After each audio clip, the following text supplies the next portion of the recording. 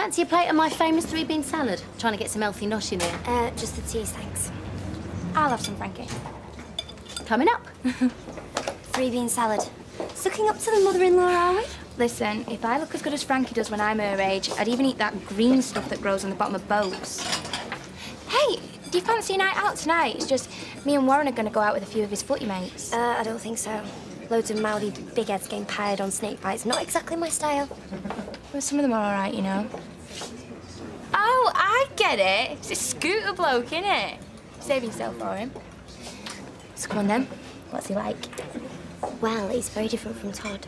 So he's straight then. He's nice and he's sweet. There you go. Oh, I meant to ask. How's your Bethany getting on at school? She like it, does she? Oh, she loves it. And I was so scared for her on her first day. I was a young mum and all. And my God, I can't tell you how good it was packing Warren off to school. It's all I could do not to kiss the teacher. So glad to get shot of the little sod.